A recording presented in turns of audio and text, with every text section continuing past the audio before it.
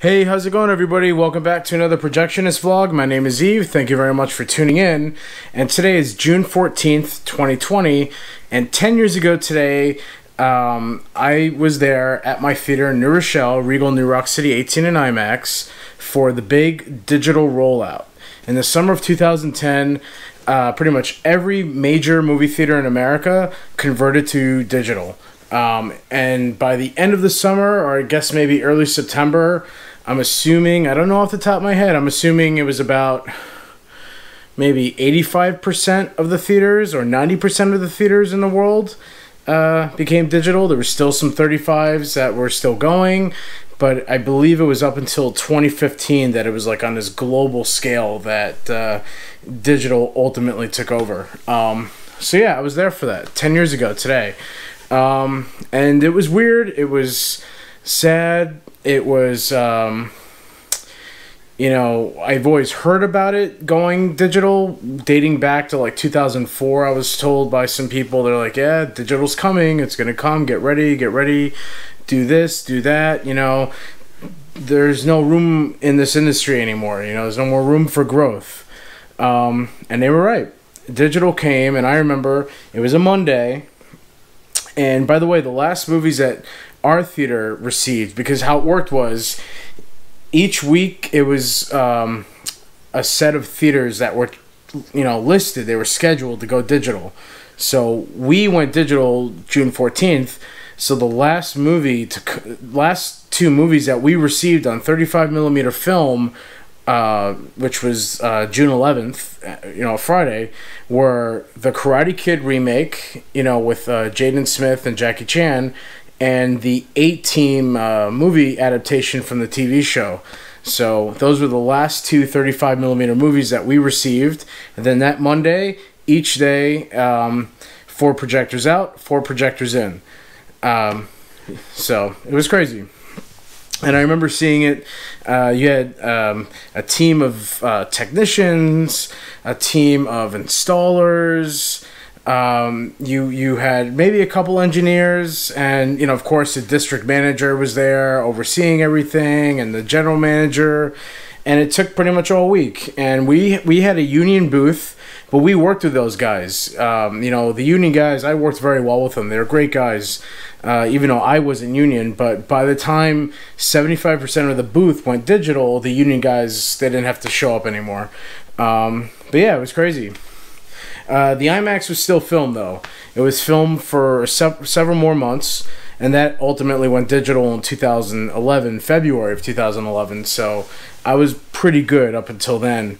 But uh, yeah, I remember um, when they were installing those projectors. I remember I remember me and a couple other projectionists we like initialed our names on on uh, some of the doors of the projector heads, like on the insides. We, you know, I put my initial and the date and all that. Um, so if anybody, you know, sees a projector head, you know, YL on it, you know, that that's me.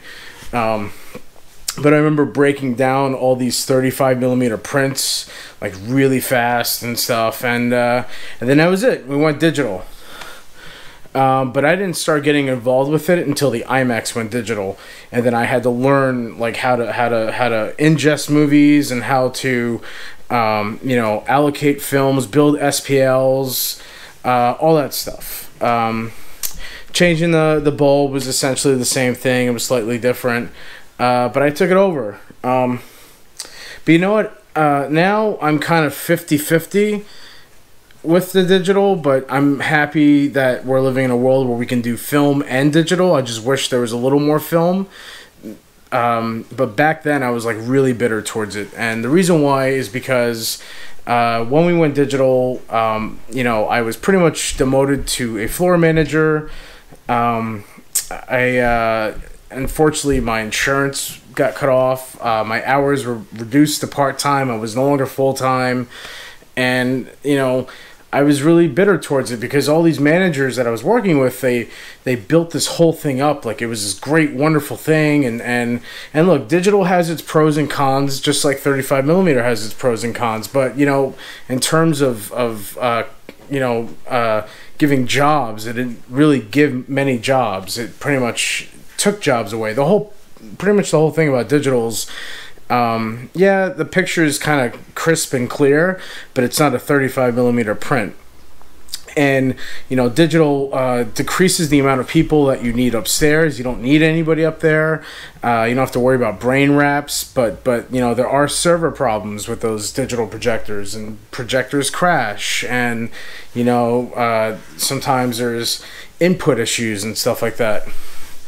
Um, but yeah, you know, it, it pretty much was designed to get rid of the projectionist. And I remember when I was running the IMAX in the fall of 2010, uh, they somehow um, promoted an usher to go upstairs and to start all the movies, and like that was like a test.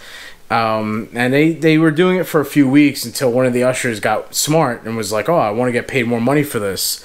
Um, but yeah, you know, so I was overseeing all the digitals in the beginning of 2011. Uh, but I learned a lot from it. I learned how to how to how to how to kind of it was kind of like IT work. Um, but it was, you know, it's good knowledge to have. Uh, but then eventually, um, the projectors became automated, um, which sucked. But before, right before they became automated, I remember they had me um, like you you were given two days of the week to kind of do booth work which was build the SPLs, ingest the content, and you know any bulb or bulb changing or maintenance and stuff like that. Um, but I remember at one point they were like, "Oh, you have to go sit at customer service and start the movies from from." Um, you know the, the computer downstairs and you'd log in to each projector and you'd start it while you're handling customer service at the same time and guess what my paycheck did not increase uh, and a lot of movie theaters did this to a lot of managers. Uh, some of them complained and quit. Some of them didn't complain. Um, I guess you know I don't know, uh, but I remember that. And then the projectors went digital, and it like that really sucked.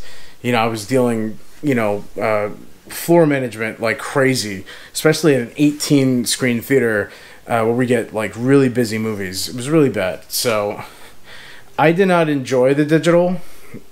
Uh, but luckily, during my time in the post digital Regal world, uh, I was there for IMAX movies that we got by Christopher Nolan. You know, we were one of the few th- handful of theaters in the world running 70 millimeter IMAX films and, and stuff. Um, but yeah, you know, now here I am. I work at the Jacob Burns uh, Theater, and we have digital. We're mostly digital, but we run archival 35 and some first run 35 millimeter films, and we just do other stuff. Uh, but I'm working as a projectionist. I'm getting paid as a projectionist, like when I'm up there. Unfortunately, right now I'm furloughed due to the COVID uh, 19 uh, pandemic, but uh, when I was there, I was doing strictly booth work and getting paid, and I was salary, and I was like, wow, this is awesome. Um, you know, I was able to do both, and and and I felt a little better about digital. But when it first came, it was not the coolest thing in the world. um, and I remember like when digital first came out, I remember uh, it was Sony, like some of the the Sony projectors. There was like two different models, but we had the first model uh, there might have been a few others, but we had the very first model, and I remember um, uh, the the image being projected. I forgot the first movie we showed. Uh, it was Gerard Butler and uh, Katherine Heigl. It was in sometime in 2009. We in theater two at New Roc. We showed this movie, and it was all green. Uh, I don't know. It just it was green. Uh, you know, I guess there's something in the projector that that helped emit this color. It was weird. Uh, but then we got more Sony projectors, which were better looking, you know. But I guess uh, digital has improved over the years. But, you know, because of digital, uh, unfortunately, you know, there's plenty of articles about it. You can look it up. The presentation in a lot of mainstream, you know, chain theaters has decreased big time. You know, theater chains now, the masking, uh, they don't fix the masking, they just leave it out you know so you know they'll show a movie flat in scope um, you know with the masking curtains out and up. Uh, so which is not cool presentation. Um, another thing is you'll have projectors that are 3d capable but sometimes they'll show 2d movies in there Uh, and then they'll sometimes show 3D in there. But when they show the 2D movie, the polarizer is left down. Nobody changes. No, nobody moves it up. The polarizer is what allows the, the, the you know for the the 3D image. But if the polarizer's down for a 2D movie, the image is going to be really dark. Um, so yeah, it's just it, it is what it is. And movies have been report reportedly have been starting by themselves, and masking doesn't change if the masking does work. Uh, as I know I mentioned before, many theaters uh, left the masking open on the side, so don't have to worry about it moving. Um, yeah, and and that's it. You know, some theaters I heard I heard it was AMC that the all the uh, setting up the movies like the SPLs and, and, and allocations, it's all done at a home office. Nobody on, on site actually does it. I don't know. Um, but I think theater theaters like when they reopen, I think they need somebody up there to uh, to really oversee this stuff, to be the main digital person and have them take care of everything in the booth. Because just because it's digital doesn't mean it's it's it's easy. You know, it's not. Um, it, it, it's enough of the cutting corners and, and stuff like that. You know, I, I mean, you know, you guys want to give good presentation, you should do it. And there's a lot of art houses now that are becoming very well known and very big because not only do they show digital, uh, but they show obscure independent films digitally. And they have projectionists that really work, take care of these projectors just like I do. And they also show 35 millimeter film prints, you know, both new and archival you know, it's really important now. You know, um, we have to kind of preserve the magic of movies and just instead of just leaving it as this automated robotic setup nightmare. It's it's really something. But uh, I just wanted to show everybody, you know, a change. It's here. There we go. All right. So I mentioned A Team before. So I have 35 millimeter trailers for A Team. There you go. That's version one. That. It's 10th anniversary just passed. It's on my Instagram. You can follow me there. See more images. There we go. All right.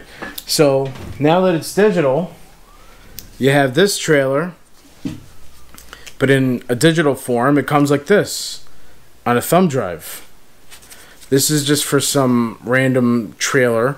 Um, but this is how they ship them, or they ship them on a on a on a on a on a, on a, a drive like a big drive, um, you know, with a, a sled, and you just put it in the port and you ingest.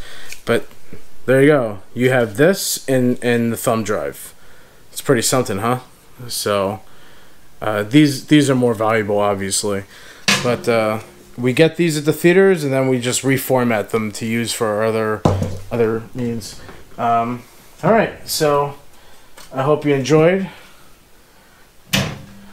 Please let me know what you think in the comment section. Be sure to like, share, and subscribe. And like I said, please follow me on Instagram. Uh, I am the 80s Die Hard Studios on Instagram. And thanks again for watching. This is an 80s Die Hard production. Later. Bye.